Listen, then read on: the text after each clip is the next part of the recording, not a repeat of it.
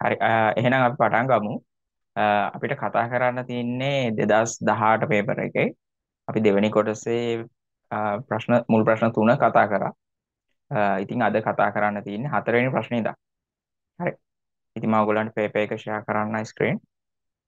හරි. හතරවෙනි ප්‍රශ්නේ Excel වලින් තමයි පළවෙනි කොටස තියෙන්නේ එකේ. බලමු. මේකේ තියෙනවා උකුළු පරිගණක මාදිලි දෙකක හා ඒවායේ උපාංගවල මිල ඇතුළත් පහත පෙන්වා ඇති පැතුරුම්පත් කොටස සලකන්න වගුවක් තියෙනවා ඩිස්ක්‍රිප්ෂන් තියෙනවා ප්‍රයිස් කියලා තියෙනවා ඒක මොඩල් A මොඩල් B කියලා තියෙනවා ලැප්ටොප් කම්පියුටර් එකේ ප්‍රයිස් එක තමයි තියෙන්නේ. ඊට පස්සේ තියෙනවා ඒකේ බෑග් එක මවුස් ඩිවයිස් ටෝටල් හරි ටෝටල් ඉන්ක්ලූඩින් ඩිලිවරි කොස්ට් පහලින් තියෙනවා ඩිලිවරි චාර්ජ් කියලා. හරි? ඉතින් අපි බලමු මොකක්ද අහලා තියෙන ප්‍රශ්නේ කියලා. මේක අහලා තියෙනවා භාණ්ඩ ප්‍රවාහන පිරිවැය රුපියල් 350ක් වන අතර එය B10 කෝෂයේ පෙන්වා ඇත. හරි. ඒක තියෙන B10 වල. මාදිලි එක එකෙහි මුළු මිල හා ප්‍රවාහන පිරිවැය සමග මිල ගණනය කළ යුතු ඇත. හරි. මේ තියෙන මුළු මිල ටෝටල් ප්‍රවාහන පිරිවැය සමග මිල තමයි මේ තියෙන්නේ. හරි බලමු පළවෙනි ප්‍රශ්න. පළවෙනි ප්‍රශ්නේ අපිට කියනවා A මාදිලිය සඳහා මුළු මිල B6 කෝෂයේ ගණනය කිරීම සඳහා අවශ්‍ය සූත්‍රය සමානයි ෆන්ක්ෂන් වරහන් ඇතුලේ සෙල් 1 සෙල් 2 කෝලන් එකක් තියෙන්නේ. ඒ කියන්නේ රේන්ජ් එකක් විදියට ඕනේ අපි දෙන්නේ. ආකාරයෙන් ලියන්න කියලා තියෙනවා. හරි බලමු B6 හරි B6 මෙන්න ටෝටල් එක ඉතින් මේක එන්න ඕනේ කොහොමද කියලා තමයි අපිට ලියන්න තියෙන්නේ. ඉතින් අපිට බැලුවහම පේන්න ඕනේ ටෝටල් එක කියලා ඇවිල්ලා තියෙන්නේ මෙතන. ලැප්ටොප් කම්පියුටර් එකේ මිලයි, බෑග් එකේ මිලයි, මවුස් එකේ මිලයි. ඔය තුන එකතු කරලානේ මේ තියෙන්නේ. හරි මෙතන 64යි. මෙතන 1500 450 එකතු වෙලා තියෙනවා. එතකොට 65950යි. ඉතින් හරිම ලේසියෙන් ලියන්න පුළුවන්. ෆන්ක්ෂන් එකක් ඕන ලියන්න සූත්‍රය. සමානයි සම්. හරි මම මේක ටයිප් කරලා පෙන්නන්න. ෆන්ක්ෂන් එන්න කොහොනේ සමානයි sum වරහන් ඇතුලේ අපිට දෙන්න පුළුවන් ඒකේ රේන්ජ් එක. හරි? B3 කෝලන් එකේ එන්නේ. ඊට පස්සේ B5 හරි? ඉතින් ඔන්න ඕක තමයි. ඊට පස්සේ B. මෙම සූත්‍රය C6 කෝෂයට පිටපත් කළේ නම් එහි දිස්වන අගය කුමක්ද? ඔන්න බලන්න සාමාන්‍යයෙන් අපෙන් අගය අහනවා අඩුයි පේපර් වල. හරිද? ගොඩක් වෙලාවට අහන්නෙම සූත්‍රනේ. හැබැයි මේකේ අහන්නේ මෙන්න මේ ෆන්ක්ෂන් එකම මේ ලියලා තියෙන සූත්‍රෙම අපි B6 එකට sorry C6 එකට දැන් B6 එකේ තමයි ලියලා තියෙන්නේ C6 එකට පිටපත් කරා නම් කොයි විදිහටද අහනවා මේක අපිට ලැබෙන්නේ අගය. හරි? ඉතින් පිටපත් කරාම ඔයගොල්ලෝ දන්නවනේ මේ පරාසය හරි දැන් අපි පිටපත් කරන්නේ එතකොට B6 එකේ ඉඳන් C6 එකට. හරි? සූත්‍රය තමයි මේ තියෙන්නේ. සමානයි සම් B3 B5. ඉතින් ඒ පරාසය මොකද වෙන්නේ? අපි මේ පේලියක් ඔස්සේ පිටපත් කරනකොට හරි පේලියක් ඔස්සේ පිටපත් කරන්නේ. ඒතකොට කොලම් තමයි වෙනස් වෙන්නේ. එහෙනම් මොකද වෙන්න ඕනේ? C3 C5 වෙන්න ඕනේ. හරි සරලවම කිව්වොත් මෙන්න මේ ලැප්ටොප් කම්පියුටර් එකේ මෙතන මොඩල් B එකේ මිලයි බෑග් එකේ මිලයි මවුස් ඩිවයිස් එකේ මිලයි එකතුව තමයි මෙතනට එන්න ඕන. හරි. ඉතින් ඒක ලිව්වනම් උත්තරේ හරි. එකතු කරලා බලන්න. මෙතන තියෙන 71000යි 1850යි 500යි. හරි. එතකොට මෙතන එනවා 250යි 73250ක් එනවා. මගේ එකතුව හරිලා. හරි නේද? එහෙනම් උත්තරේ ලියන්න ඕනේ. හැත්තතුන් දස් දෙසිය පණහයි ඒකට මුකුත් රුපියල් දාන්නවත් දශම දාන්නේ මුකුත් ඕන්න එකට එන්නේ අගේ හැත්තතුන් දස් දෙසිය පණහයි. හරි?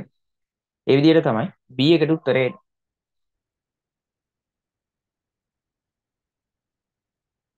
ඊට පස්සේ සි කෝෂලිපින ශ්‍රිත හා ගණිත කර්ම පමණක් භාවිතා කරමින් ප්‍රවාහන පිරිවැය සමග මිල B7 කෝෂයේ ලබා ගැනීමට සුදුසු සූත්‍ර දෙකක් ලියන්න. හරි? මෙන්න B7 එකේ ගන්න ඕනලු හරි? අපිට total including delivery cost. ඒ කියන්නේ මෙන්න මේ delivery charge එක තියෙන යට 350 ඒකයි total එක එකතු කරා නම් මේකට උත්තරේ එනවනේ. හරි? බලන්නකො මේ 65950ට 66300 කියලා ඇවිල්ලා තින්නේ මේ 350 එකතු කරලානේ ඉතින් ඒකට ලියන්න පුළුවන්. සූත්‍ර දෙකක් අහනවා අපිට කෝෂ ලිපින භාවිතා කරන්න පුළුවන් ශ්‍රිත භාවිතා කරන්න පුළුවන් ගණිත කර්ම භාවිතා කරන්න පුළුවන් ඉතින් මේකට නම් අපිට සූත්‍ර දෙකකට වඩා ලියන්න හැකියාව තියෙනවා. හරි? හරි අපි බලමුකෝ මුලින්. ඔන්න. එකක් ලියන්න පුළුවන් අපිට මේකේ තියෙන B6 ඒ කියන්නේ total එකයි delivery charge එකයි එකතු කරලා. හරි? සමානයි sum on sum කියන function එකකින් ලියන්න පුළුවන්.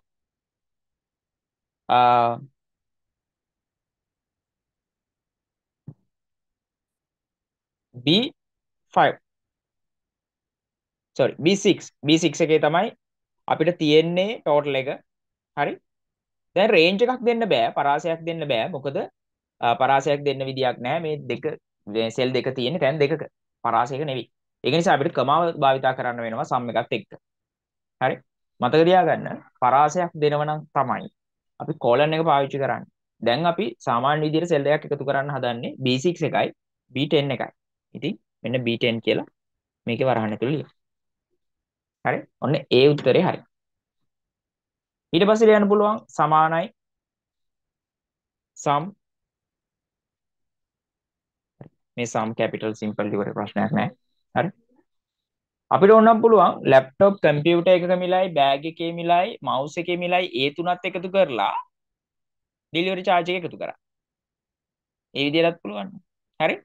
ඒක ලියන්නත් ක්‍රම කීපයක් තියෙනවා. ඒක කමාදදා වෙන වෙනම සෙල් ඇඩ්‍රස් ලියන්නත් පුළුවන්. එහෙම නැත්නම් ඒක පරාසයක් විදියට දෙන්නත් පුළුවන්. මම බලන්නකෝ. මම දෙනවා. අනේ මම උඩ මේකේ තව ආකාරයක් ලියලා පෙන්නන්නම්කෝ. අනේ මේක අපි ලියමුකෝ.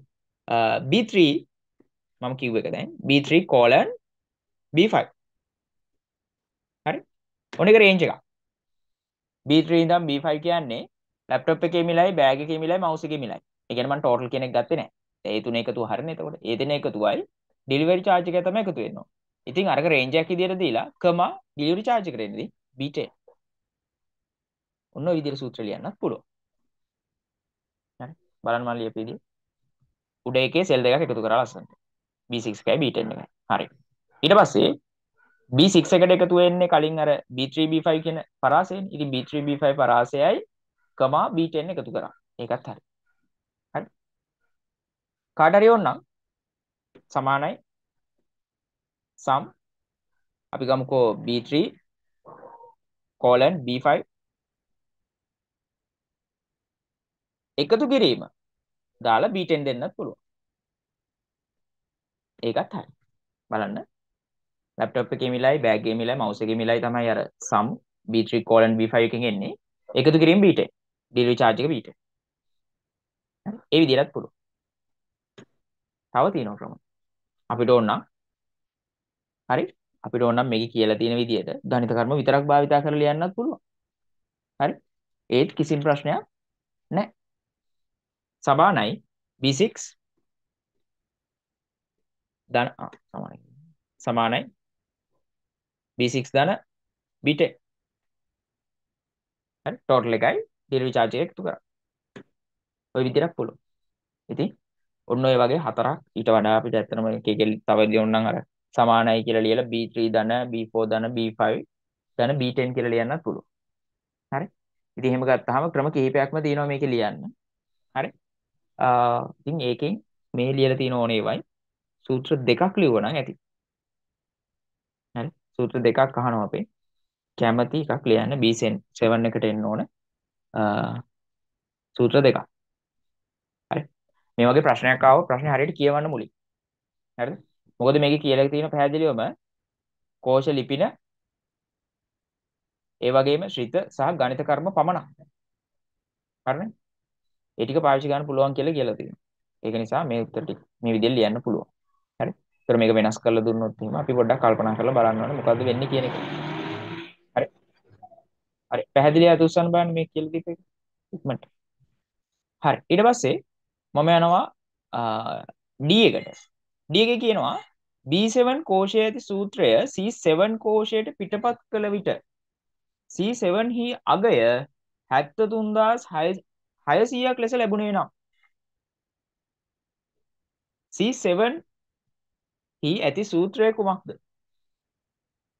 හරිද? දැන් මෙන්න මේ අපි B7 වලට ලියපු සූත්‍රය C7 වලට පිටපත් කරාම 73600ක් ආවොත් කලින් උත්තරේ ඒ කියන්නේ ටෝටල් එකට අපිට ආපු උත්තරේ තමයි 73250. එහෙමනේ. එතකොට ඒක 73600ක් වෙලා එනවා කියන්නේ මේ 350 එකතු වෙලා කියන එකනේ. පැහැදිලිද? හැබැයි අපිට කියනවා මෙන්න මේ B7 එකේ සූත්‍රය තමයිලු මෙහෙට කොපි කරේ. හරි?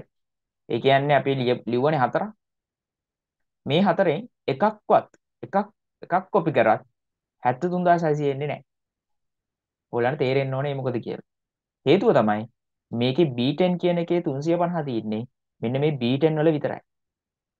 එතකොට අපි මෙන්න මේ විදියට සාපේක්ෂ කෝෂ ලිපින භාවිතා කරලා සූත්‍ර ලියලා තියෙනවා නම් අපි පිටපත් කරද්දී ඒ සාපේක්ෂ කෝෂ අදාළ විදියට වෙනස් වෙනවා. හරි? එතකොට අපි බලමුකෝ මෙන්න මේ ලියලා තියෙන මම මේ කලින් ලියලා තියෙන B7 වලට එන්න ඕන සූත්‍ර හතර කොයි විදිහට වෙනස් වෙන්නේ කියලා බලමුකෝ. හරි? වෙනස් වෙන්නේ මෙන්න මේ B7 ඉඳන් C7 වලට කොපි කරොත් සම් එක එනවා මෙතන C6 C10 කියලා. ඉතින් C10 ආපු ගමන් C10 එකේ අගයක් නැහැ. එහෙනම් මේ 73600 විදියක් නැහැනේ. හරි? බලන්න එහෙම බැලුවාම මේ හැම එකක්ම C10 වෙනවනේ. මොකද හැම එකම තියෙන්නේ සාපේක්ෂ කෝෂ ලිපින. ඒක නිසා මෙන්න මේ එක සූත්‍රයක්වත් D උත්තරෙන් ලියන්න බෑ.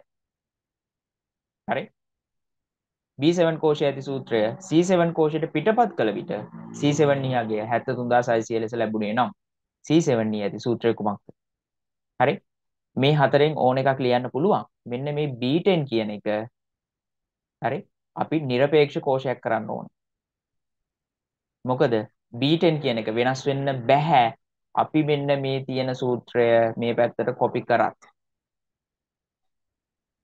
පැහැදිලිද හරි ඉතින් ඒක නිසා নিরপেক্ষ ආකාර තුනක් තියෙනවා එක ආකාරයක් තමයි පේලි নিরপেক্ষ අනිත් ආකාරය තමයි තීරු নিরপেক্ষ අනිත් එක පේලි සහ තීරු নিরপেক্ষ හරි මේකේ අපිට ඇත්තටම බැලුවොත් එහෙම B10 කියන එක C10 වෙන එකනේ ගැටලුව ඒ කියන්නේ මේකේ තීරු තීරු නාමය තමයි වෙනස් වෙන්නේ මේ විදිහට කොපි කරොත්.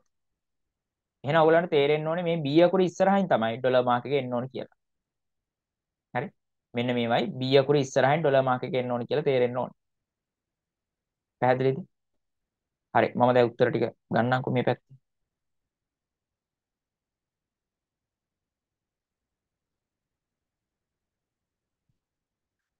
හරි ඒ වගේමයි අපිට ඕනම් පේලි සහ තීරු නිරපේක්ෂ දාන්න පුළුවන්. ඒ කියන්නේ ඩොලර් මාක් එක B ඉස්සරහටත් දාලා 10 ඉස්සරහටත් දාන්න පුළුවන්.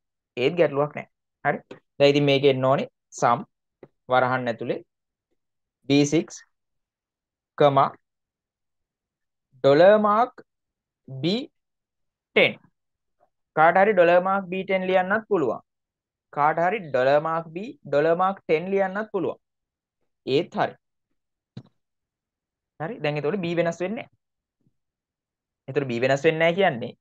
හරි? ආ අපෙන් අහන්නේ C7 එකේ තියෙන කෝෂ අහන්නේ C එතකොට මෙතන C B6 ලියන්න බෑ. C7 C6 on ලියන්න. හරි? කල්පනා කරලා ලියන්න. C7 වල එක තමයි අහන්නේ. හරි එතකොට C7 වල තියෙන්න ඕනේ සමානයි sum C6 dollar mark B10 ඔය විදිහට ඕනේ තියෙන්නේ හරි එතකොට අනිත් ටිකත් තේරෙන්න ඕනේ කොහොමද එන්න ඕනේ කියලා. හරි. අපි ඕනනම් ගත්තොත් එහෙම. හැබැයි එකයි අහන්න ඕනේ. දැන් මම මේ හතරක් විතර ලියනවා. ඒ හතරෙන් එකයි ඔයා ලියන්න ඕනේ. හරි. මම අර උඩ හතරක් ලියපු හින්දා තමයි ඒවට ගැලපෙන විදිහට මේ හතර ලියන්නේ. හරි. එතකොට මෙතන එන්න ඕනේ C3 colon C5 comma dollar mark B10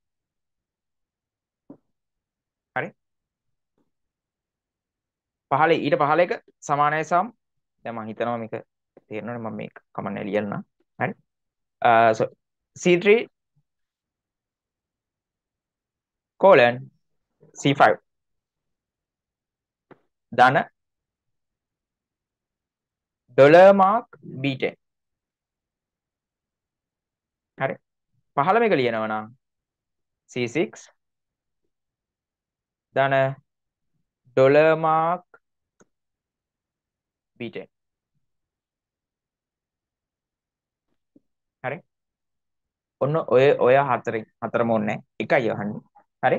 එකක් ලියන්න පුළුවන්.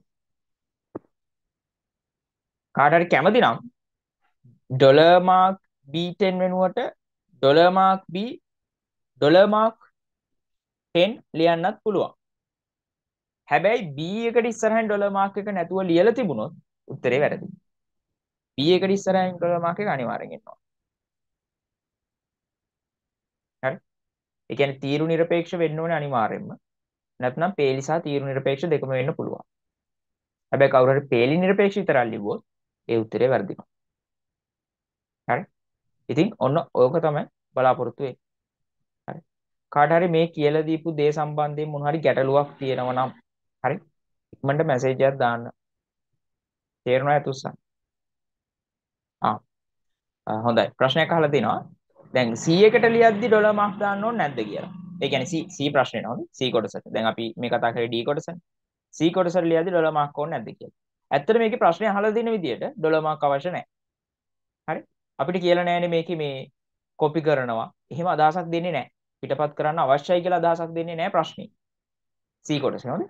එතකොට ඒක කියන්නේ කෝෂ ලිපින සහ ශිත හා ගණිත කර්ම පමණක් භාවිත කරමින් ප්‍රවාහන පිරිවැය සමග මිල B7 කෝෂයට ලබා ගැනීමට සුදුසු සූත්‍ර දෙකක් ලියන්න. හරි. ඒක නිසා ඒකට උත්තර මම මේ රතු පාටින් දාලා තියෙන ඒකට අවශ්‍ය උත්තරනේ. ඒක ඩොලර් මාක් නැතුව ලිව්වත් කමක් නැහැ. හැබැයි මේකේ ඩොලර් මාක් දාලා ලිව්වත් උත්තර වැරදි නෑ. හරි ඇත්තට මාක් ස්කීම් එක ගත්තොත් එහෙම ඕකට අදාළව මං හිතන්නේ සූත්‍ර ගොඩාක් දීලා තියෙනවා. හරි. මේ මාක් ස්කීම් එක මගේ ළඟ මේ පෙන්වන්න දෙයක් නැහැ. ඩවුන්ලෝඩ් කරලා නැහැ. මේ ඒ කියන්නේ සූත්‍ර ගොඩාක් තියෙනවා. ඒ තව ලියන්න පුළුවන් මේක. හරි 100කට අදාළව. ඩොලර් මාක් දාලා ලියන්නත් පුළුවන්. ඒ ඩොලර් මාක් එකේ ආකාරත් තියෙනවනේ. හරි ඕනනම් තීරු නිරපේක්ෂ දාලා ලියන්න පුළුවන් නැත්නම් තීරු සහ පේලි නිරපේක්ෂ දාලා ලියන්නත් පුළුවන්. ඒක තවත් තියෙන සූත්‍ර. හරි. ඒක නිසා 100කට මේ විදිහට ලිව්වත් කිසි ගැටලුවක් නැහැ. මොකද ඒකේ අපිට කිසිම අදහසක් දීලා නැහැ මේක කොපි කරනවා කියලා. හැබැයි B D එකේ D කොටසේ හරියටම කියලා තියෙනවා C7 කෝෂයට පිටපත් කළ විට කියලා. B7 කෝෂයේ ඇති සූත්‍රය C7 කෝෂයට පිටපත් කළ විට කියලා හරියටම කියලා තියෙනවා. ඒක නිසා ඒකේ ඩොලර් මාක් උත්තරයට එන්න ඕන. හරිද? තව කාට හරි ගැටලුවක් තියෙනවා අහන්න බලන්න. හරි. ඉතින් ওই ටික තමයි Excel ප්‍රශ්නේ ඇවිල්ලා තියෙන්නේ.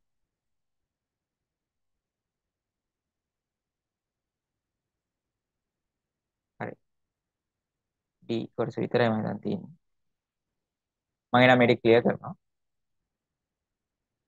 ඊට පස්සේ මම යනවා දෙවෙනි ප්‍රශ්නෙට PowerPoint වලින් තමයි මේ හතරවෙනි ප්‍රශ්නයේ දෙවෙනි කොටස ඇවිල්ලා තියෙන්නේ.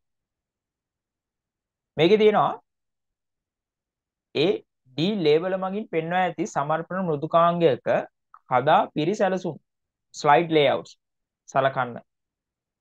පහත දී ඇති ලයිස්තුවෙන් එක් එක් කදා පිරිසැලසුම සඳහා නිවැරදි නාමය හඳුනාගෙන එය අදාළ පිරිසැලසුම් ලේබලය ඉදිරියෙන් ලියා දක්වන්න. හරි ABCD කියලා තියෙනවා. ඉතින් ABCD කියලා ලියලා ඒක ඉස්සරහින් මෙන්න මේ තියෙන ලිස්ට් එකෙන් අදාළ එක ලියන්න ඕනේ. ඉතින් මේ PowerPoint පාඩම කරද්දිම මම කලින් කියලා ඇති ලේඅවුට්ස් 9ක් තියෙනවා. ඒ 9 මතක තියාගන්න ඕනේ කියලා. හරිද? ඉතින් ඒ ලේඅවුට් 9 අපිට හතරක් තමයි දීලා තියෙන්නේ. හරි? ඉතින් පළවෙනි එක A. A කියන්නේ ටයිටල් ස්ලයිඩ් එකක්. ඒ කියන්නේ මාතෘකා කතාව. මෙන්න මේ උත්තරේ එන්න ඕනේ.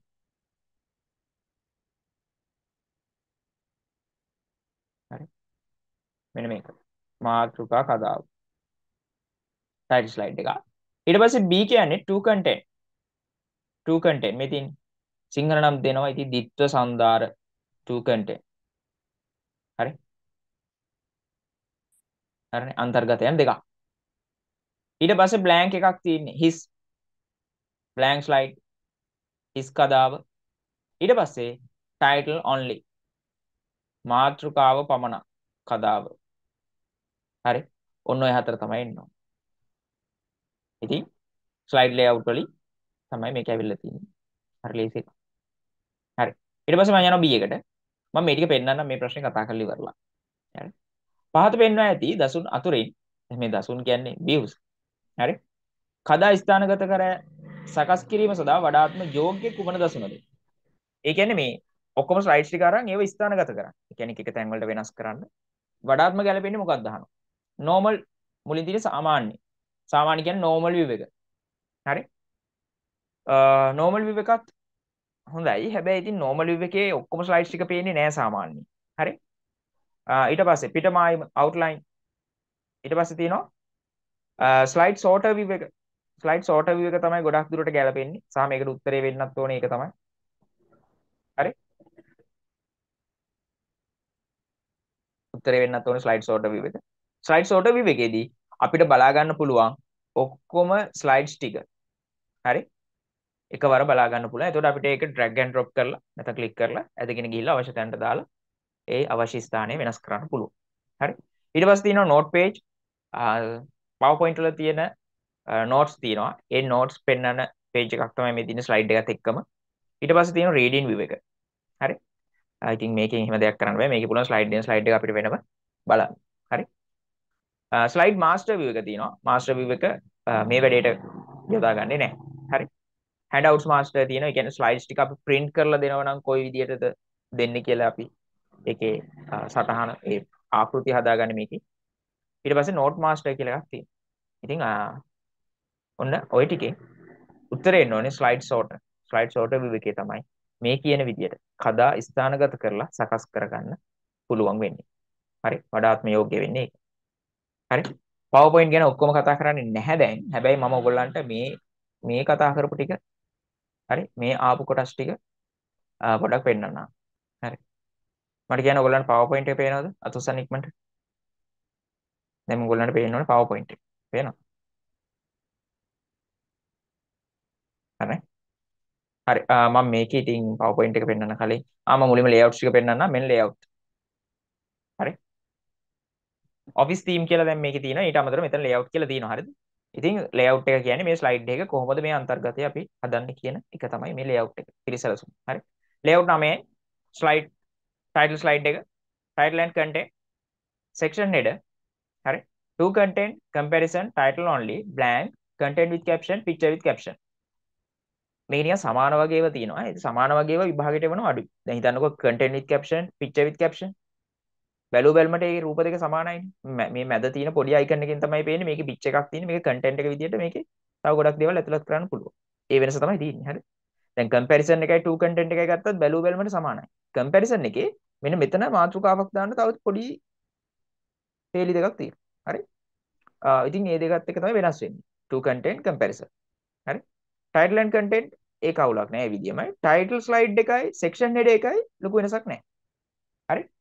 ඒ වගේ ලොකු වෙනසක් නැති ලේඅවුට්ස් අපිට විභාගයට එකපාරේ වෙනවා අඩුයි. හරි.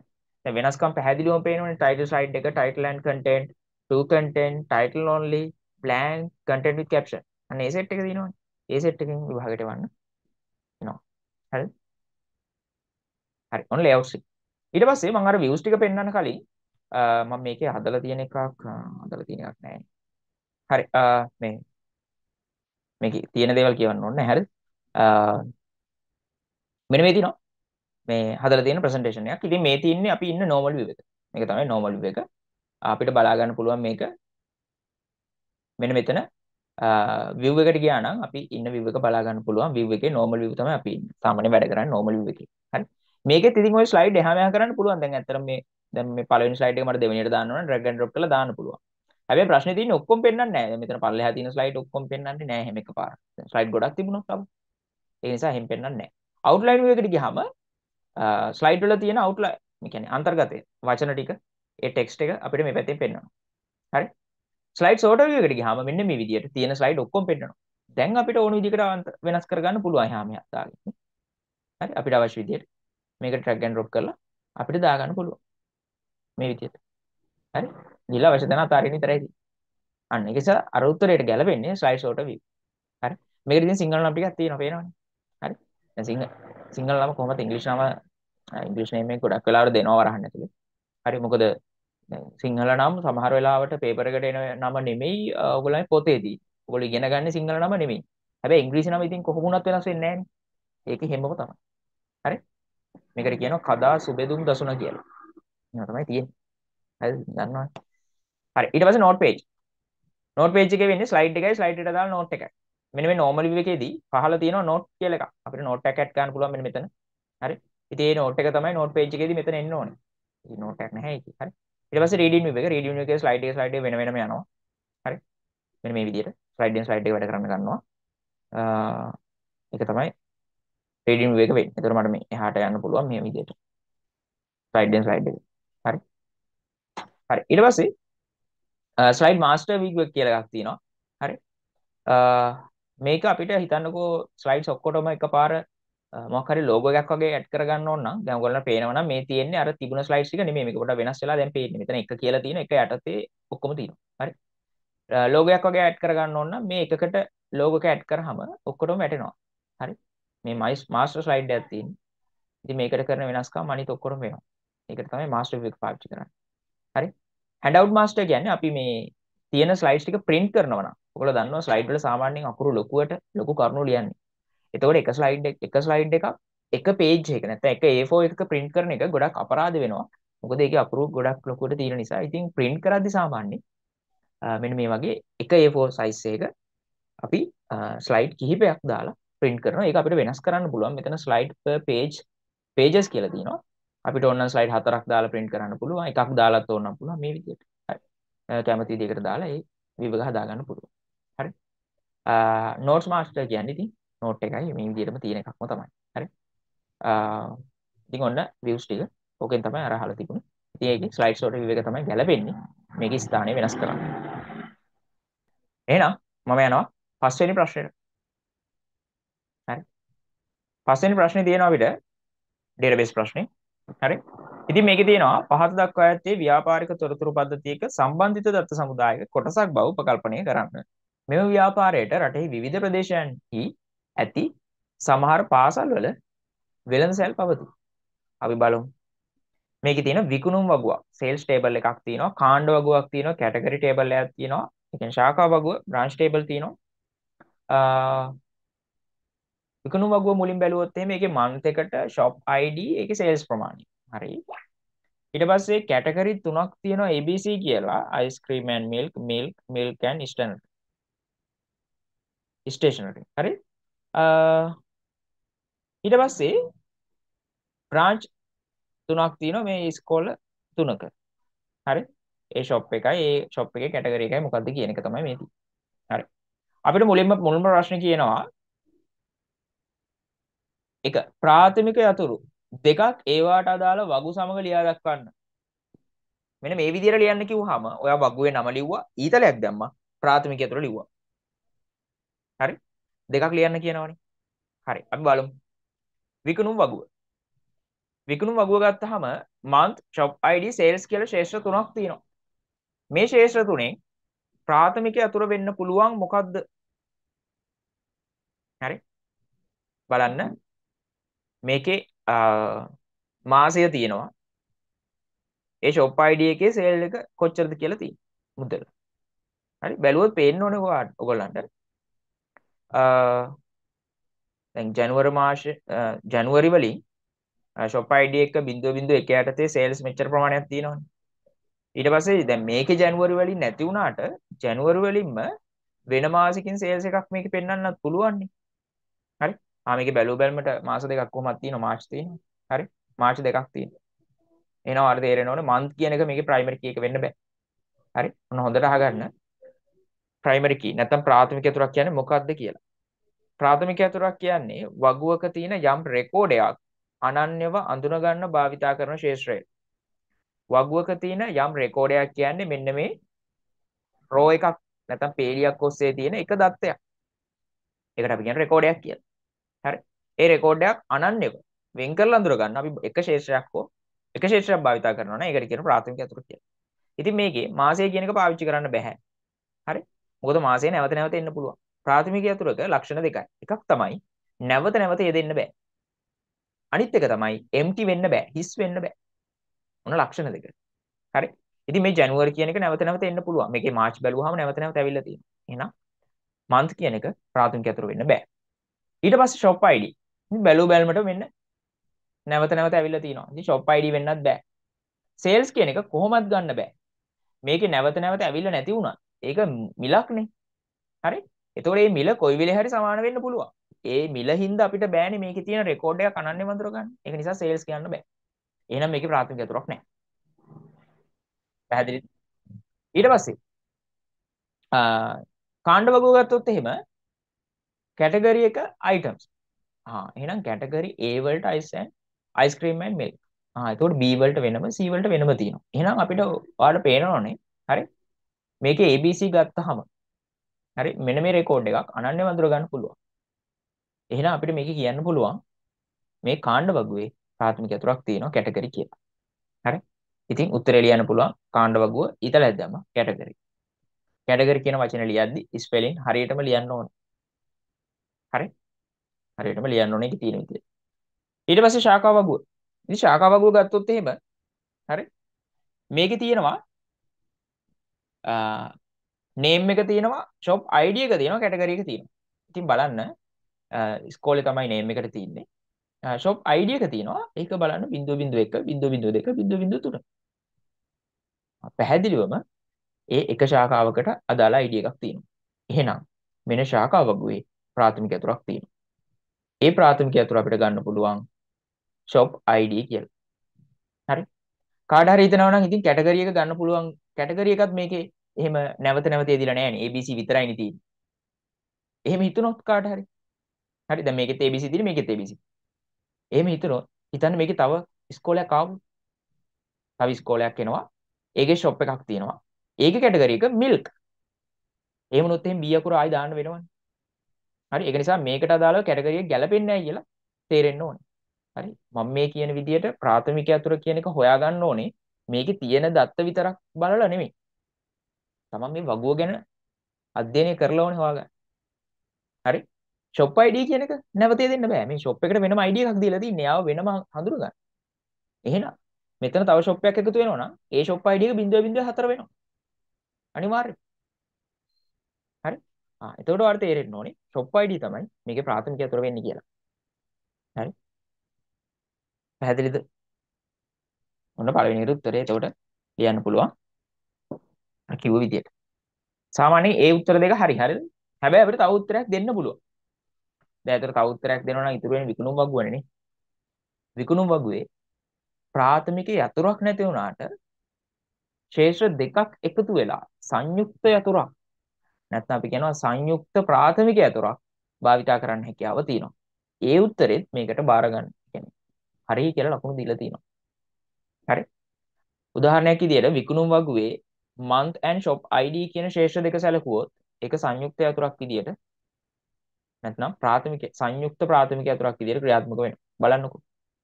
month කියන එක වෙනම ගන්න බෑ. shop ID කියන එක වෙනම ගන්න බෑ. හැබැයි month එකයි shop ID එකයි දෙකම එකට සැලකුවොත් අපිට මෙන්න මේ රෙකෝඩ් එක අනන්‍ය වඳුර ගන්න හැකියාව තියෙනවා. හේතුව ජනවරි වලින් 0.0යි 1 කියන shop එකෙන් තව date එකක් තියෙන්න බෑනේ. මොකද ජනවරි වලට 0.1 shop එකේ sales එක මෙච්චරයි. ආයි තියෙන්න බෑනේ ජනවරි ජනවරි වලට 0.1 කියලාම. ඒ දෙකම එකට සලකන්න ඕනේ හරි? ආ එතකොට එහෙනම් තේරෙන්න ඕනේ මෙන්න මේ ශේෂ දෙකම එක විට සැලකුවොත් එහෙම එතන සංයුක්ත යතුරක් තියෙනවා. හරි මේ සංයුක්ත යතුරක් කියන්නේ ක්ෂේත්‍ර දෙකක් හෝ ඊට වැඩි ප්‍රමාණයක් එකතු වෙලා ප්‍රාථමික යතුරක් විදියට ක්‍රියාත්මක වෙනවා නම් අපි ඒකට කියනවා සංයුක්ත යතුරක් කියලා. ඒ වගේම සංයුක්ත ප්‍රාථමික යතුර කියලාත් අදහසක් තියෙනවා. එහෙමත් කියනවා. හරි? ඒක නිසා මේකේ මම දැන් උත්තර දෙකක් කිව්වා. මේකේ අහලා තින්නේ ශේෂ කොහොමත් ප්‍රාථමික යතුරු දෙකයි. හැබැයි අනිත් උත්තරේ විදියට ඒ කියන්නේ කවුරු හරි මෙන්න මේ මම කියන දැන් කියන උත්තරේ ලියලා තියෙනවනේ ඒත් ලකුණු දීලා තියෙනවා. විකුණුම් වගුව හරි ඊතලයක් දාලා month එකතු කිරීම shop ID. දැන් ශේෂ දෙකක් නිසා ශේෂ දෙක එකතු කරලා එකතු කිරීමේ ලකුණ පාවිච්චි කරලා ලියන්න. month එකතු කිරීම shop id කියලා ලියලා තියෙනවා ඒකටත් ලකුණු දීලා තියෙනවා. හරි? ඉතින් හරිම උත්තර දෙක අර දෙක හොඳ. මේක හරි නෑ කියනව නෙවෙයි ඒ වුණාට අර දෙක තමයි ලියන්න ඕන මුලින් හරි? ඊට පස්සේ දෙවෙනි එකේ අහනවා ආගන්තුකයේ අතුරු දෙකක්.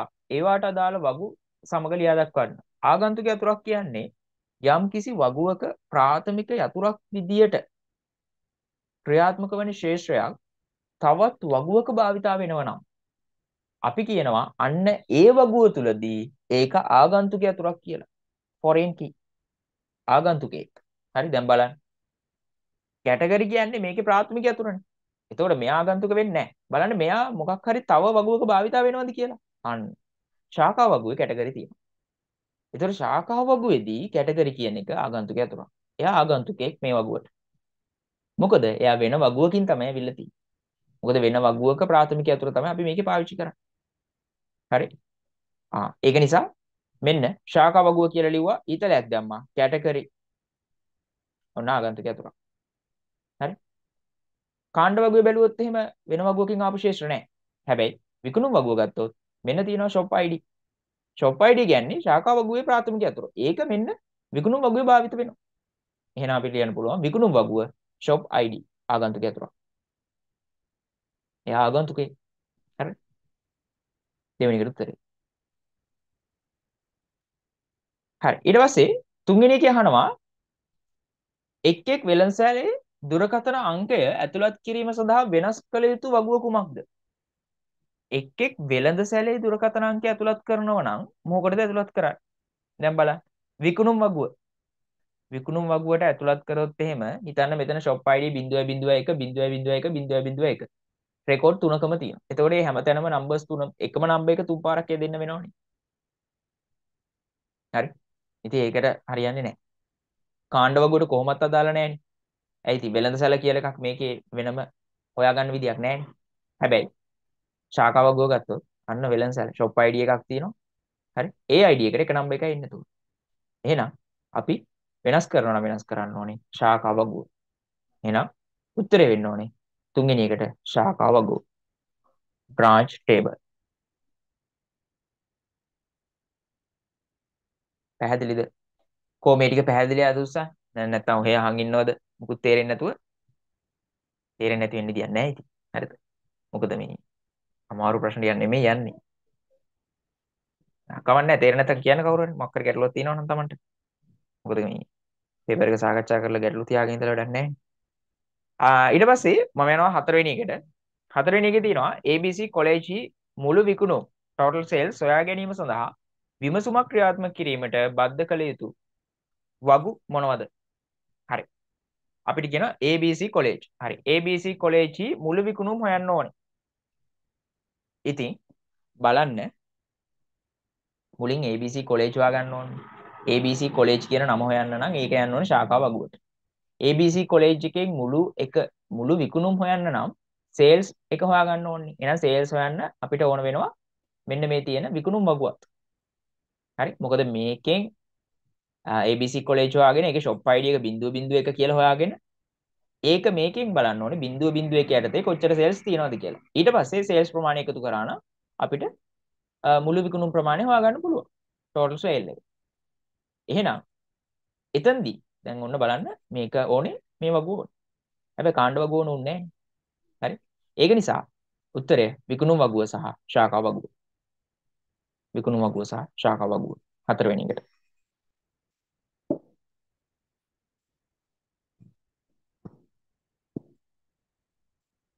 හරි. මෙන්න මේ ප්‍රශ්නවල මෙන්න මෙහෙම දෙයක්ත් තියෙනවා. හරි. ඔයා ශාඛා වගුව විතරක් ලියලා තිබ්බොත් ඔයාලට ලකුණු නැහැ. ඒතර ඔයා කියයි ඉතින් අපි වගු දෙකෙන් එකක් හරි ලිව්වනේ සර් කියලා. හරි. එහෙම බෑ. හරි. එහෙම බෑ. ලියනවා නම් මේකේ හරි උත්තරේ තමයි විකුණුම් වගුව සහ ශාඛා වගුව. ඒක හැර වෙන මොන උත්තරේ තිබුණත් ලකුණු නැහැ. ඒක විතරයි තියෙන්න ඕනේ. හදිසියවත් ඔයා ලියලා තිබුණොත් විකුණුම් වගුව ශාඛා වගුව කාණ්ඩ වගුව කියලා. දැන් කාණ්ඩ වගුව කියන එක වැඩිපුරනේ ලියලා තියෙන්නේ. ඒතර ඔයා හිතයි ඉතින් උඩ වගු දෙකක් අපි ලියලා තියෙනවනේ හරියට ඒ දෙකට ලකුණු දීලා අන්තිමකට වැරද්ද දාලා ලකුණු දෙන්න පුළුවන් නේද කියලා. එහෙම බෑ. හරි. මේකේ මෙන්න මේ වගේ ප්‍රශ්නවල. හරි. මෙන්න මේ හතරවෙනි ප්‍රශ්නේ. ක්‍රියාත්මක කිරීමට සම්බන්ධ කළ යුතු වගු මොනවාද? එකක් අඩු වුණත් වගුවක් වැඩියෙන් ලියලා තිබ්බත් ලකුණු නැහැ.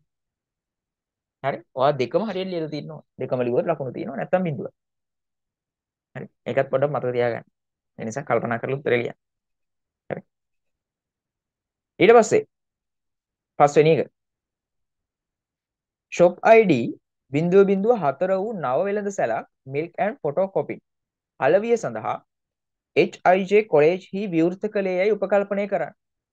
මෙම තොරතුරු ඇතුළත් කිරීම සඳහා යාවත් කාලීන කළ යුතු වගු මොනවාද? අපිට යාවත් කාලීන කරන්න කියලා ඔන්න තාම කිව්වේ නෑ මේ ප්‍රශ්නේ. අපි අහන්නේ වගු මොනවද කියලා. හරි බලන්න වගු මොනවද කියලා.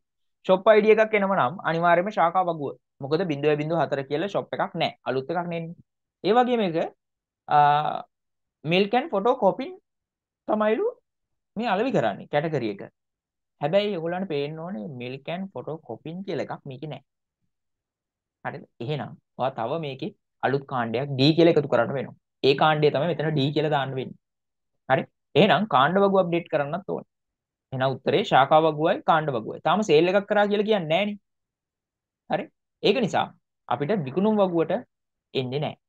එහෙනම් කාණ්ඩ වගුවයි ශාඛා වගුවයි. පස්වෙනි එකට උත්තරේ.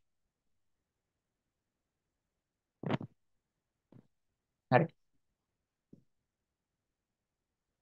ඊට පස්සේ හයවෙනි එක හයවෙනි එකේ කියනවා අන්න ඉහත පහයි සඳහන් පරිදි අලුතින් එකතු කරන ලද රෙකෝඩ ඒවාට අදාළ වගුනාම සමගින් ලියන්න අන්න හරි රෙකෝඩ් ටික ලියන්න ඕනේ. ඉතින් රෙකෝඩ් ටික ලියද්දි කාණ්ඩ වගුවට එන්න ඕනේ කැටගරි එක D කියලා එනවා. අයිටම් එක මෙන්න මේ milk and photocopy කියලා එනවා. ඉතින් ඔයගොල්ලෝ ලියන්න ඕනේ කාණ්ඩ වගුව කියලා ලිව්වා ඊතලයක් දැම්මා වරහණක් කැරියා මේ කැටගරි අයිටම් කියලා ඒ වගුව ගහලා ඕන වගුව මේ වගුව කියන්නේ ෆුල් නෙමෙයි හරිද? කැටගරි අයිටම් කියලා ගහලා D මිල් මොකද? මිල්ක් ඇන්ඩ් ෆොටෝකොපින් කියලා විතරක් ඕනනම් ලියන්න පුළුවන්. වගුව ගහලා. හරි? ඒ කියන්නේ ශේෂ්ඨ නාම දෙකක් ලියලා.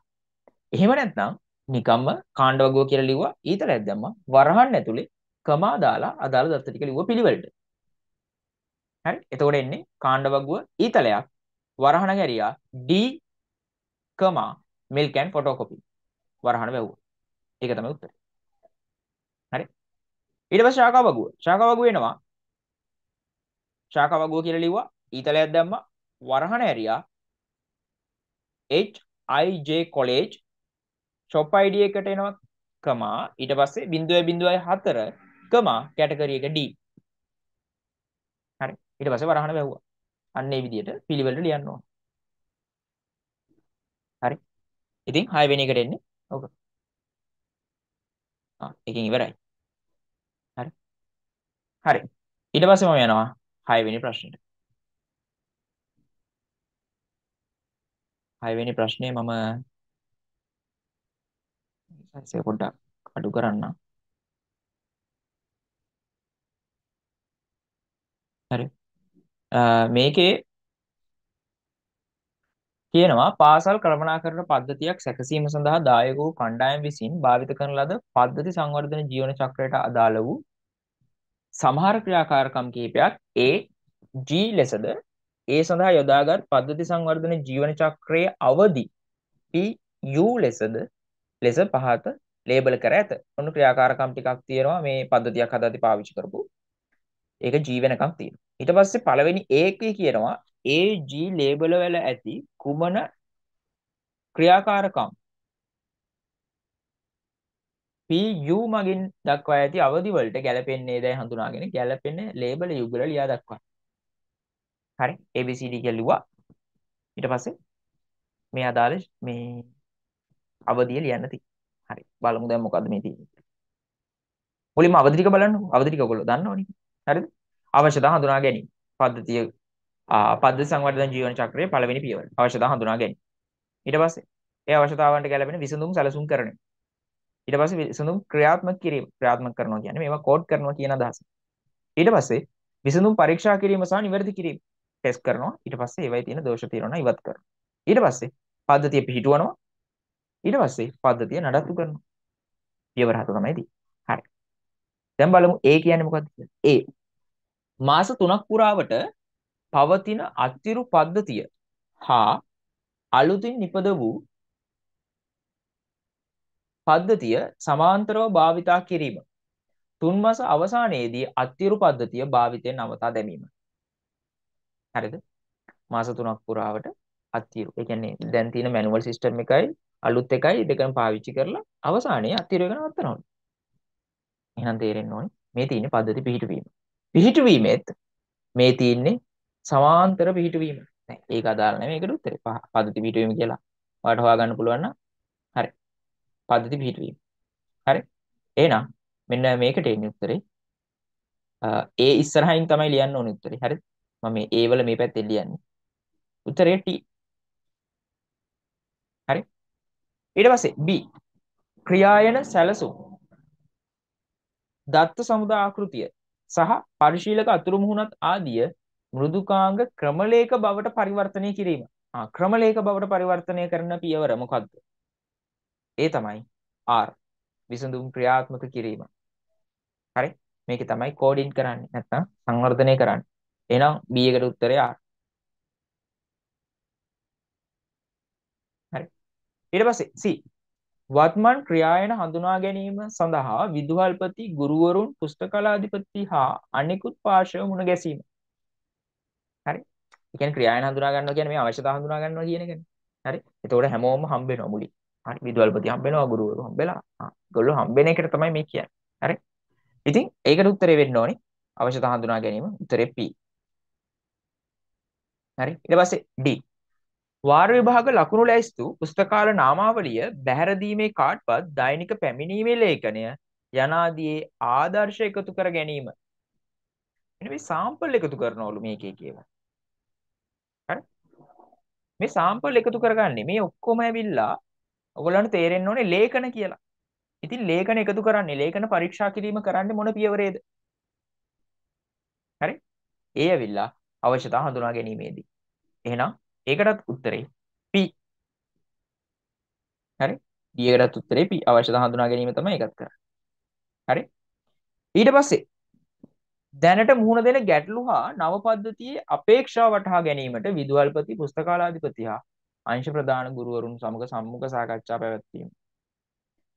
ඉතින් මේකටත් අවශ්‍යතා හඳුනා ගැනීම තමයි එන්නේ. මොකද අවශ්‍යතා හඳුනා ගැනීමේ ක්‍රමවේද තියෙනවා. සම්මුඛ සාකච්ඡා, ප්‍රශ්නාවලි, ලේඛන පරීක්ෂාව, මූලාකෘතිකරණය. හරි. ඉතින් ඔය වගේ ඒ වගේම නිරීක්ෂණය ඔය වගේ ක්‍රම භාවිතා කරලා අවශ්‍යතා හඳුනා ගන්නවා අලුතෙන් පද්ධතියක් නිර්මාණය කරද්දී ඒ පද්ධතිය කොහොමද යෙදෙන්න ඕනි කියන එක ගැන. ඉතින් මේකේ වෙන්නේ සම්මුඛ සාකච්ඡා පැවැත්වීමනේ නේද? ඉතින් උත්තරේ B. B තුනක් යනවා ඒකට. හරි. ඊට පස්සේ F නව පද්ධතිය වසරක් භාවිත කළ පසු විදුහල්පති විසින් ඉල්ලුම් කරන ලද වෙනස්කම් ඇතුළත් කිරීමට නව කේත කොටස් යලි ලිවීම. දැන් පද්ධතිය වසරක් පාවිච්චි කරලලු. ඒ කියන්නේ පද්ධතිය පිහිටුවල සෑහෙන කාලයක් ගිහිල්ලානේ. හරි? එහෙනම් මේ තියෙන පද්ධති නඩත්තුව. මොකද පද්ධති නඩත්තුවේදී අලුත් කොටස් නේද? එකතු කිරීමක් සිද්ධ වෙන්න පුළුවන්. දෝෂයක් ආවොත් ඒක හදන්නත් පුළුවන්. ඒ වගේම මෘදුකාංග යාවත්කාලීන වෙනකොට ඒවට අදාළව යාවත්කාලීන කිරීම සිද්ධ කරන්නත් වෙනවා. නඩත්තු කිරීමේදී.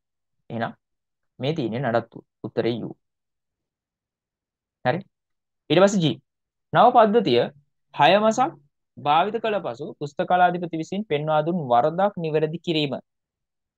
දැන් ඉතින් මම කිව්ව විතරයි නේද? මොකද දෝෂයක් ආවොත් ඒක නිවැරදි කරනවා. ඒකට කියන අපි ඩිබගින් කියලා. හරි? ඉතින් ඒකටත් එන්නේ U. ඔය විදිහට තමයි එන්නේ. ඔයගොල්ලෝ උත්තර ලියලා තියෙනවා. A A ලියලා A ඉස්සරහින් P B ඉස්සරහින් R. ඒ විදිහට තමයි උත්තර ලියලා තියෙන්නේ.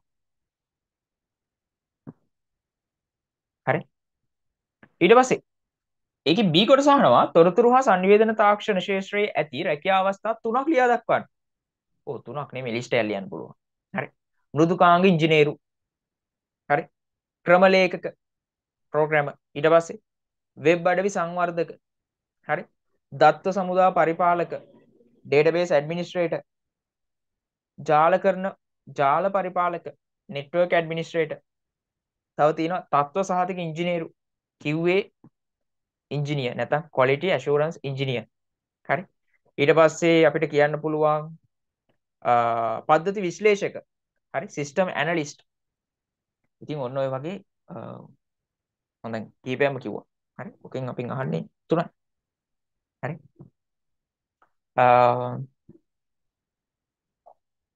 B එකට උත්තරේ.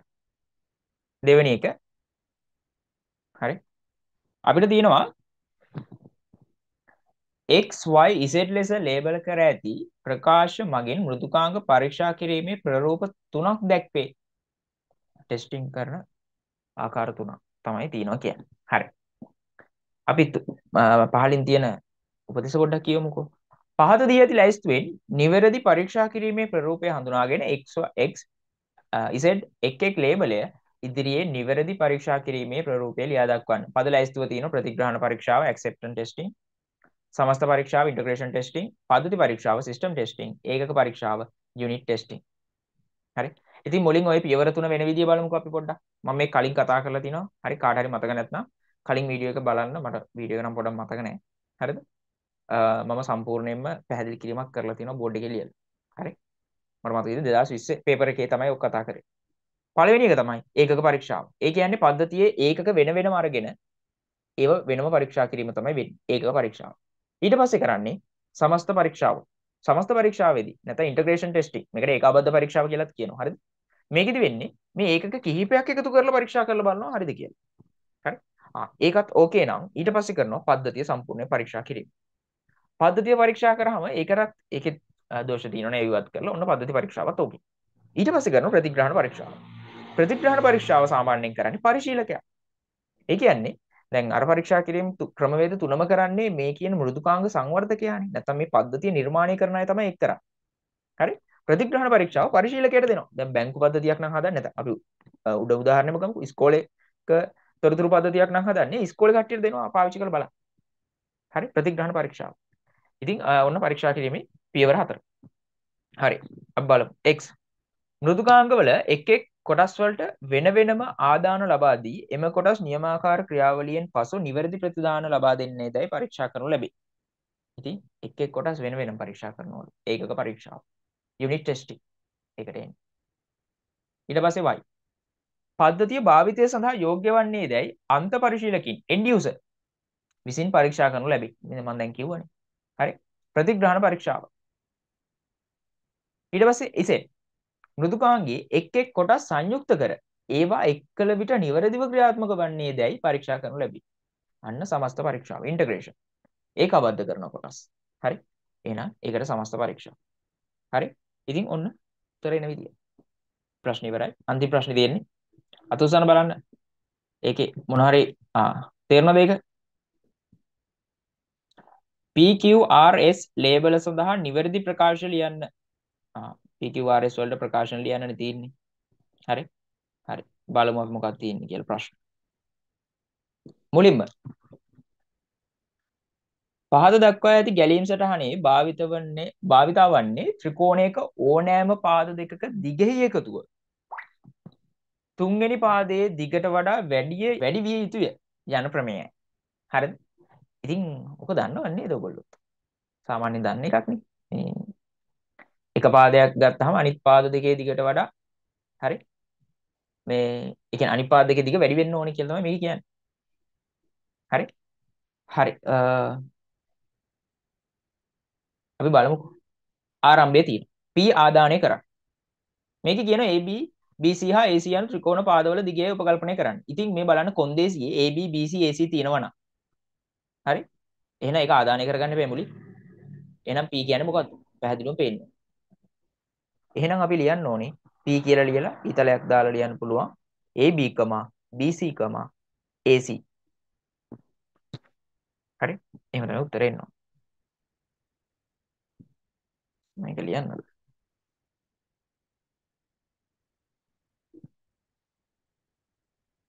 හරි. මේක එන්න ඕනේ P එන්න ඕනේ. AB, BC, AC. ඔය විදිහට. හරි. ඊට පස්සේ Q. හරි බලන්න දැන් මේකේ මොකක්ද තියෙන්නේ කියලා. මේකේ තියෙනවා AB විශාලයි BC දන ACද දැන් ප්‍රශ්නාර්ථයක් නෙදී ඔව් නැත දෙපැත්තක් තියෙනවා. හරි. ඔන්න AB පාදයේ විශාලද බලනවා අනිත් පාද දෙකට වඩා. ඊට පස්සේ Q තියෙනවා. ඊට පස්සේ තියෙනවා AC පාදයේ විශාලද බලනවා AB BCට වඩා. ඒ දෙක එකතුවට වඩා. හරි. ඉතින් ඔයාලට තේරෙන්න ඕනේ දැන් මේ පාද තුනේනේ බලලා තියෙන්නේ. එහෙනම් හරි තුනක් තියෙන්නේ මේ පාද. එක එක පාදේ වෙන වෙනම බලලා තියෙනවා. AB පාදය බලලා තියෙනවා. අනිත් පාද දෙක එකතුවට වඩා විශාලද? පහලින් තියෙන AC පාදය බලලා තියෙනවා. අනිත් පාද දෙක එකතුවට වඩා විශාලද? එහෙනම් කිව්ව මොකක්ද දෙන්නේ කියලා වැඩේ තේරෙන්න ඕන. හරි? Q වෙන්න ඕනේ. එහෙනම් AB AC තියෙනවා. එහෙනම් මේක BC. BC විශාලයි. AB ධන AC. ඔන්න ඕක තමයි එන්න ඕනේ. පැහැදිලි නේද? හරි. ඊට පස්සේ R එකයි S එකයි. ආ. ඔන්න දැන් බලන්න ඔව් කියලා යන ඒවා එකක් හරි ඔව් වුණොත් කෙලින්ම ගිහිල්ලා ABC යනු R. හරි. දැන් මේකේ ත්‍රිකෝණයක්ද නැද්ද කියලා නෙමෙයි හොයන්න හදන්නේ. ත්‍රිකෝණයක් වෙනවද නැද්ද? මේකේ පැහැදිලිවම කියලා තියෙනවා උඩින්. හරි. ආ මෙන්න මේකේ හරි මේකේ ත්‍රිකෝණයක ඕනෑම පාද දෙකක දිගෙහි එකතුව තුන්වෙනි පාදයේ දිගට වඩා වැඩි විය යුතුය. හරි. එහෙම වුණොත් ABC කියන්නේ එක්ක ත්‍රිකෝණයක් වෙනවා. එහෙම නැති වුණොත් ත්‍රිකෝණයක් වෙන්නේ නැහැ. හරි. දැන් බලන්න. BC මම යනවා පළවෙනි කොන්දේසියට. AB විශාලයි BC ධන AC. AB පාදයේ විශාලයි නම් අනිත් පාද දෙක එකතුවට වඩා. ඔව් පැත්තට යනවා. ඉතින් AB පාදයේ විශාලයි නම් අනිත් පාද දෙක එකතුවට වඩා මේක ත්‍රිකෝණයක් වෙන්න බෑ. හරි. AB විශාල වෙන්න බෑ අනිත් දෙකේ එකතුවට වඩා. නිකන් හිතලා බලන්න ත්‍රිකෝණයක් ගැන. එක පාදයක් විශාලයි අනිත් පාද දෙක එකතුවට වඩා. ඒ වුණොත් ත්‍රිකෝණයක් අඳින්න බෑනේ අපිට. මම හිතනවා මේ මේ කියන ප්‍රමේය වචනාර්ථයෙන්ම නෙමෙයි ඔයාට ගණිතමය වශයෙන් උත් හොඳට තේරෙනවා කියලා. ඒතකොට මේ ප්‍රශ්නේ ඊසි. හරි? අනිත් පාද දෙක එකතුවට වඩා AB එක පාදයේ විශාල නම් ඒක ත්‍රිකෝණයක් වෙන්න බෑ. ත්‍රිකෝණයක් අඳින්න බෑ හිමුණු. හරි. එහෙනම් ඔව් පැත්තට ගියොත් එහෙනම් එතනින්ම තේරෙන්න ඕනේ R කියන්නේ ත්‍රිකෝණයක් නොවේ කියන එක. R කියන්නේ ත්‍රිකෝණයක් නොවේ. දැන් ඔන්න මම ඒක ලියන්නේ නැහැ හරි. R ඉරිකැලක් ගෙවුව ත්‍රිකෝණයක් නොවේ. ABC යන ත්‍රිකෝණයක් නොවේ. හරි. ඉතින් බලන්නකෝ. ඊට පස්සේ එන්නේ BC විශාලයි AB ධන AC නේ. ඒකෙත් කියන්නේ එතකොට AB කියන BC කියන පාදේ විශාලයි AB ගේ AC ගේ එකතුවට වඩා. ඉතින් ඒකත් ඔව් පැත්තට ගියොත් ඒකත් ත්‍රිකෝණයක් නෙවෙයි. හරි. ඊට පස්සේ AC පාදේ චෙක් කරලා බලනවා. AC පාදේ විශාලයි නම් AB BC වල එකතුවට වඩා ඒක ආයි ඔව් වුණොත් ඒ ත්‍රිකෝණයක් නෙවෙයි. හැබැයි මේ තුනම නැතනම් අර ප්‍රමේය සත්‍ය වෙනවා. හරි. එතකොට මේ එක පාදයක්වත් අනිත් පාද දෙකේ දිගට වඩා වැඩි නැහැ. හරි. එකතුවේ දිගට වඩා වැඩි නැහැ. එහෙනම් නැත නැත නැත විදියට කියොත් එහෙම ABC යනු S කියන එකට උත්තරේ එන්න ඕනි. ත්‍රිකෝණයක් වේ. එහෙනම් R වලට උත්තරේ ත්‍රිකෝණයක් නොවේ. S වලට උත්තරේ ත්‍රිකෝණයක් වේ. දෙවෙනි එක කියනවා ගැලීම් සටහනේ ඇති තීරණ කොටුව decision box තුන තනි තීරණ කොටුවකට සංයුක්ත කළේ නම් එම තනි තීරණ කොටුවේ ලිවිය යුතු ප්‍රකාශනය ලියන්න. එකකට සංයුක්ත කරොත් කොහොමද එන්නේ කියලා අහනවා. මේ තුනම. ආ දැන් කල්පනා කරලා බලන්න. මේකේ ඔයගොල්ලන්ට බැලුව බැලමට තේරෙන්න ඕනේ එක ප්‍රකාශනයක් හරි සත්‍ය නම් හරි එක ප්‍රකාශනයක් හරි සත්‍ය නම් ප්‍රකාශන තුනේ ඔව් පැත්තට යනවා. ඔව් පැත්තට ගිහලා ත්‍රිකෝණයක් නෙවෙයි කියලා කියනවා. හැබැයි ප්‍රකාශ තුනම අසත්‍ය වුණොත් විතරයි ABC යනු ත්‍රිකෝණයක් වෙයි කියලා කියන්නේ. හොඳට පැහැදිලි වෙන්න ඕනේ මං කියන එක. හරි. බලන්න එහෙනම් එකක් හරි ඔව් වුණොත් ත්‍රිකෝණයක් නොවේ කියන එකට යනවා. එක පැත්තකට යනවා. අනිත් එකේ තුනම නැති වුණොත් විතරයි ත්‍රිකෝණයක් වේ කියන එකට එන්නේ. එහෙනම් ඔයාලට තේරෙන්න ඕනේ දැන් මේක පොඩ්ඩක් නේද? මේ වගේ කොන්දේසි කිහිපයක් අපිට එකතු කරන්න වෙනව නම් අපිට and හෝ or පාවිච්චි කරන්න වෙනවා. And හෝ or. හරි ඒ කියන්නේ සහ නැත්නම් හෝ කියන වචනේ. ඒ වචන දෙකෙන් එකක් පාවිච්චි කරන්න වෙනවනේ. හරි? දැන් එහෙනම් කල්පනා කරලා මට මැසේජ් එකක් දාන්න ඉක්මනට. මේකට ගැලපෙන්නේ and එකද? හෝ එක මේ or එකද? and එකද or එකද? මොකද මේකේ ඔව් පැත්ත කියන්නේ අපිට ගන්න පුළුවන් ඒක සත්‍ය පැත්ත. අනිත් පැත්ත අසත්‍ය පැත්ත. හරි? මට කියන්න බලන්න and එකද o එකද ගැලපෙන්නේ. මොන මැසේජ් එකද? හරි? ආ තේරෙන්න ඕනේ. හරි. දාලා තියෙනවා. හරි. ආ o එක. o එක තමයි එන්න ඕනේ. මොකද හෝනේ. එකක් හෝ සත්‍ය නම් මෙන්න o පැත්ත යනවා සත්‍ය පැත්තට. හරි. තුනම සත්‍ය නම් තමයි නැත පැත්තට යන්නේ. හරි. එහෙනම් මේ ප්‍රකාශන තුන හෝ කියන වචනේ දාලා ලිව්වත් හරි ඕ කියන වචනේ දාලා ලිව්වත් හරි. හරි මම ඔන්න ලියලා පෙන්නන්නම්. මේක එන්න ඕනේ මම ප්‍රකාශනය ලියන්න නැතුව ලියන්න. හරි. මේ ප්‍රකාශනය ලිව්වා මේ ප්‍රශ්නාර්ථය ලියන්න ඕනේ නැහැ. හරිද? ප්‍රකාශනය ලිව්වා ඕ කියලා ලිව්වා. හරි. ඊට පස්සේ අනිත් ප්‍රකාශනය ලිව්වා. ඒක මෙතන ලිව්වා. ආපහු ඕ කියලා ලිව්වා. ඊට පස්සේ අනිත් ප්‍රකාශනය ලිව්වා. ඕනනම් මේ ප්‍රකාශන තුන වරහන් දාන්න පුළුවන් ඔයාලන්ට ප්‍රකාශන තුන වෙනම වරහන් දාන්න පුළුවන්. හරි. ඕ කියලා ලියවන හරි. ඕ වෙනුවට හෝ කියන සිංහල වචනේ පාවිච්චි කරලා තිබුණත් ලකුණු දීලා තියෙනවා. හෝ කියලා සිංහල වචනේ පාවිච්චි කරන්න පුළුවන්. හරි? මොකද එකක් හෝ සත්‍ය නන්නේ මේක ඕ පැත්තට යන්නේ. හරි? ආ එහෙනම් ඕ තමයි මෙතනට එන්න ඕනේ. ඕ තර්කන. හරි? ඕ ලොජික් එක තමයි මේකේ පාවිච්චි වෙන්නේ. ඊට පස්සේ කියනවා. හරි? ඊට පස්සේ තුන්වෙනි එක ඉහත එක සහ දෙක කොටස් වලදී තර්කණය වෙනස් කර යාවත් කාලීන කර ගැලීම් සටහන සඳහා අදාළ ව්‍යාජකේතය ලියන්න. ආ. දැන් ඔන්න තනි එකකට ගන්න කිව්වනේ දෙක කොටසෙදී. ඒතකොට ඒක ඒ වෙනස් කරපු ගැලීම් සටහන අපිට කියනවා ලියන්න ව්‍යාජකේතය. ඉතින් ලොකු එකක් නෙමෙයි තියෙන්නේ. හරි. එතකොට තනි බොක්ස් එකකට නෙමෙයි අර එක කොන්දේසි එන්නේ. ඉතින් එතකොට ආරම්භයේ තියෙනවා ඉන්පුට් එක තියෙනවා. කොන්දේසියක් තියෙනවා කියන්නේ if else එකක් තියෙනවා මෙතන. තේරි මාස්තාවක් තියෙන්නේ. ඒක එක පැත්තක තියෙනවා ABC යන ත්‍රිකෝණයක් කියන්නේ අනිත් පැත්තේ ත්‍රිකෝණයක් නෙවෙයි. හරි. ඉතින් අපිට මේක ලියන්න පුළුවන්. ඔයාලට දැන් ඉංග්‍රීසි වචන දාගන්න ඕනේ නැත්නම් සාමාන්‍ය විදිහට දන්න එක ලියන්න පුළුවන්. අර ත්‍රිකෝණයක් නොවේ ත්‍රිකෝණයක් වේ කියන වචනේ කොටේෂන් දාලා සිංහලෙන් ලියන්න පුළුවන්. හරිද? මම ඕනනම් එක ලියලා පෙන්නන්නම් කොහොමද එන්නේ කියලා.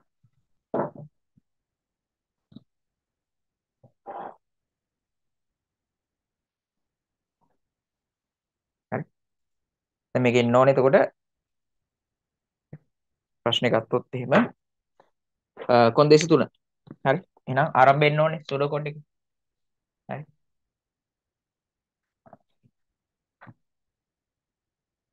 ඔන්න begin එක එනවා. ඊට පස්සේ අපිට ඉන්පුට් එක එනවා. ඉතින් ඉන්පුට් AB, BC, AC. හරි. ආදානයේ දෙවෙනි පියවර. ඊට පස්සේ කොන්දේසිය තියෙනවා.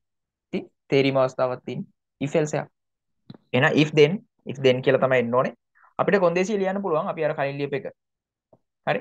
එතකොට කොන්දේසිය එනවා AB විශාලයි BC ධන AC O හරි BC විශාලයි AB ධන AC O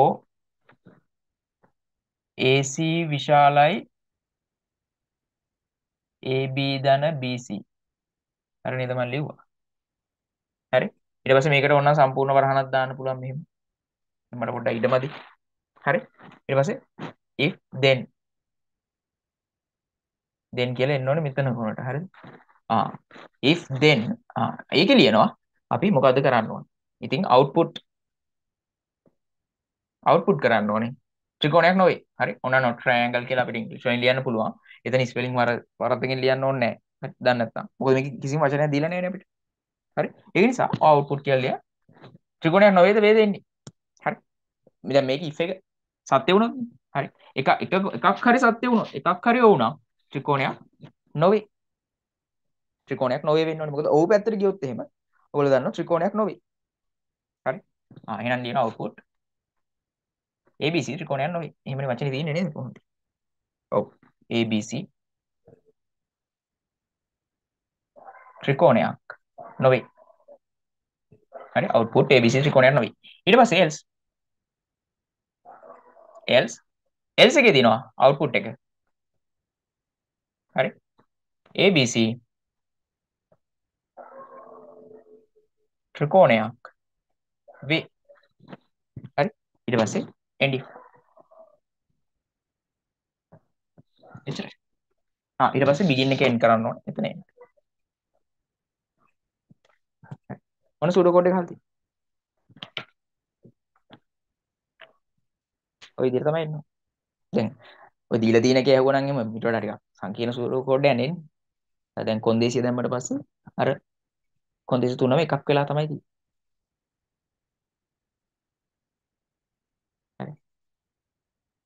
හරි හරි අත උස්සන්න බලන්න. පැහැදිලි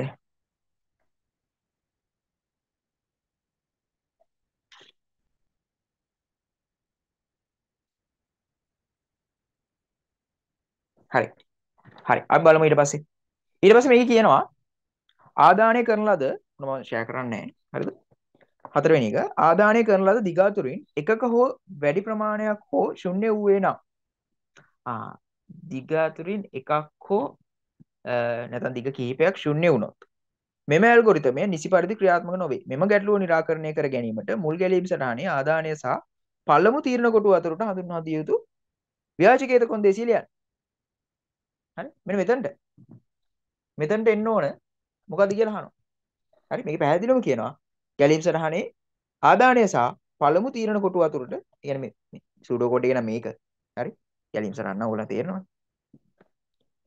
එන්න ඕන තීරණ කොටුවේ හරි මේ ව්‍යාජ කේතේ කොන්දේසිය ලියන්න. තීරණ කොටුවක් කියලා නෑ ව්‍යාජ කේතේ කොන්දේසිය අහනවා. හරි ඉතින් මේ ඇත්තනේ දැන් මේකේ දන්නවනේ ඔයගොල්ලෝ එකක් බිඳුව වුණොත් එක පාදයක් හරි බිඳුව වුණොත් එහෙම ගැටලුවක් ඇති වෙනවා. මොකද එක පාදයක් බිඳුව වුණොත් ඒක කොහොමද ත්‍රිකෝණයක් නෙවෙයි. හරි පැහැදිලිද මං කියන එක. ඒතර එකක් බිඳුව වෙලා මේ කොන්දේසි තුනම අසත්‍ය වෙලා ත්‍රිකෝණයක් වෙයි කියලා උත්තරේ එන්නත් පුළුවන්. හරි ඔන්න දාලා බලන්න. වෙන්නත් පුළුවන්. එහෙම හැකියාවක් තියෙන වෙන්න. හරි. ඉතින් ඒ වගේ ගැටලුවක් ආවොත් හරි. සහ කොහොමත් AB ඒ කියන්නේ ත්‍රිකෝණයක් කියනකොට ඒක එක පාදයක්වත් බිඳුව වෙන්න බෑ. හරි ඒක නිසා බිඳුවද කියලා මුලින්ම පරීක්ෂා කිරීමක් කරන්න ඕනේ. ඉතින් ඒක තමයි මේ අපිට කියන්නේ. හරි. තීරණය වෙන්න ඕනේ මොකද්ද කියලා. එහෙනම් එතන තව තීරණ ගැනීමේ කොටුවක් දාලා AB විශාලයි බිඳුව හරි. දැන් ඒකේ හෝද දාන්න ඕනේ ඇන්ඩ් කියලා මට පොඩ්ඩක් කියන්න. ඒ කියන්නේ හෝද සහද දාන්න ඕනේ. ඕ එකද ඇන්ඩ් එකද දාන්න කියලා පොඩ්ඩක් කියන්න. මම මේ අතන්ට එනවනේ කොන්දේසිය ලියන්නේ හොඳේ. ඒකේ එන්න ඕනේ අනිවාර්යයෙන්ම AB බිඳුවට වඩා විශාලද කියලා බලන්න ඕනේ. AC බිඳුවට වඩා විශාලද කියලා බලන්න ඕනේ. BC බිඳුවට වඩා විශාලද කියලා බලන්න ඕනේ. හෝද එන්නේ සහද? නැත්නම් O ගේට් එක ඕද එන්නේ O ద్వාරේ කාර්යද නැත්නම් AND එකද? කල්පනා කරලා කියන්න බලන්න.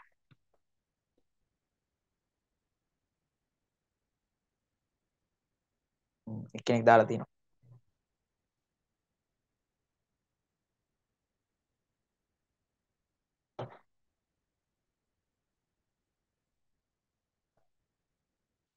ආ හරි.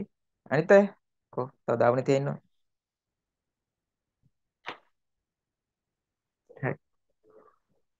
මේකෙන්න ඕනේ ඇන්ඩ් එක. හරි. ඇයි? සහ නැත්නම් ඇන්ඩ් එන්න ඕනේ. හරි. මේ මේක වෙනම උත්තරයක් නේ. ඒක තමයි අන්තිමේ උත්තරේ. මෙන්න මේ විදිහට කොන්දේසි එන්න ඕනේ. ඇන්ඩ් එන්න ඕනේ. මෙන්න. එකක් හරි එක වුණොත්. හරි. එකක් හරි එක වුණොත් හරි එක and එක and එක දැන් මේකේ ඔව් නැත පැත්තනේ අපිට ගන්න වෙන්නේ හරි ඉතින් අපිට දාන්න වෙන්නේ and එක. මොකද මෙන්න මේකේ එකක් හරි සත්‍ය වුණොත් හරි. මේක ත්‍රිකෝණයක් නොවේ. දැන් ත්‍රිකෝණයක් නොවේ කියන පැත්තටනේ අපි ඔව් ගිහිල්ලා තින්නේ. ඔව් බලන්න මේ ගැලීම් සටහන. ගැලීම් සටහනේ ත්‍රිකෝණයක් නොවේ කියන පැත්තට තමයි ඔව් ගිහිල්ලා තින්නේ.